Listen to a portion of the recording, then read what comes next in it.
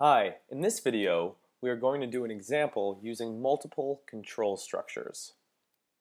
So what are control structures? Well, we've introduced a few so far.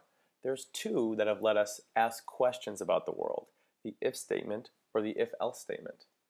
And there's two that have let us repeat code, the for loop, which lets us repeat code for a fixed number of times, or the while loop, which lets us repeat code as long as some condition is true. These are known as the control structures because they reflect the control flow of the program. So this is the program we want to write right now. So we have Karel in the world on the left, uh, in the bottom left corner facing east, in front of a row of tennis balls. We don't know where they are exactly though. We want Karel to go across that row and clean up all the tennis balls ending up on the other side. So let's go and write this program in our editor. Okay, so let's think. What kind of control structures do we need to use?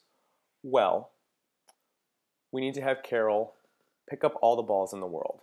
We're going to need to do this more than once, so we're going to need to use some sort of loop. However, we don't know the size of the world.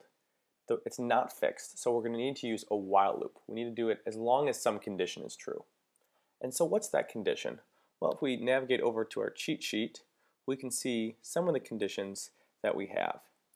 And well, if we want to go all the way to the other side, well, we can do that with front is clear.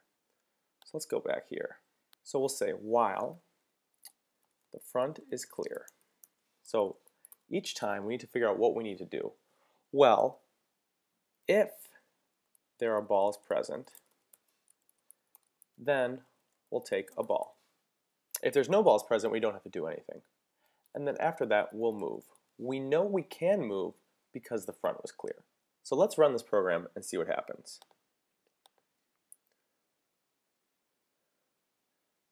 Okay, we've almost done it, but there's one thing wrong. We didn't pick up the last ball. So why did that happen?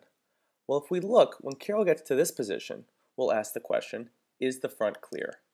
The front is not clear, so we don't execute any of this code in the while loop, and so the ball doesn't get taken. So we need to handle that last edge case. We need to say if balls present, then take ball.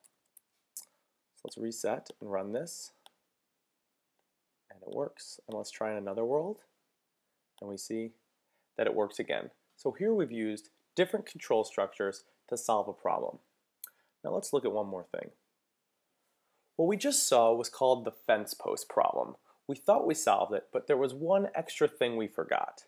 If we look at this picture of a fence post, where there's four feet of fence, the posts are separated by one foot, we notice that it requires five fence posts. So that fence post error that we had is forgetting that last case, either at the beginning or at the end of our loop.